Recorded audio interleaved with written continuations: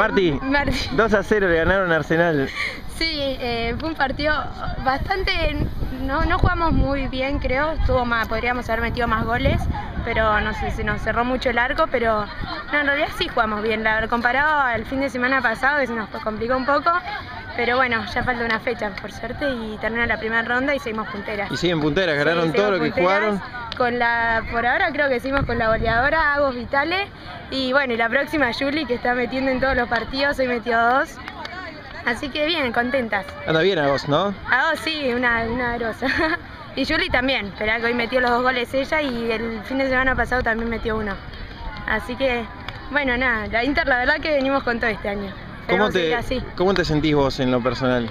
Bien, eh, soy media calentona, pero a veces como que me niego, pero, pero estoy bien. Aparte del equipo, la verdad que somos todas muy compañeras y eso es lo bueno.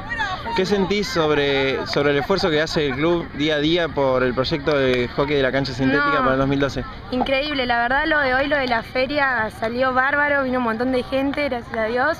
Y bueno, y esto, no, todo, no sé, todo a pulmón, ¿no? Creo que todas tenemos que ponerlo mejor para que esto pueda salir adelante y tener la cancha sintética. Y va a ser un- beneficio para todas. Para todas, ni hablar, sí, es un sueño y que lo queremos, pues ya este jugar en césped ya se, en el 2013 ya se acaba, así que nada, estamos todos poniendo lo que, lo que mayor podemos y bueno, ahora vamos a hacer una fiesta, que están todos invitados y bueno, para- si quieren venir a todos los eventos que hagamos, están todos invitados. Muchas gracias, No, gracias a ustedes, gracias por estar siempre.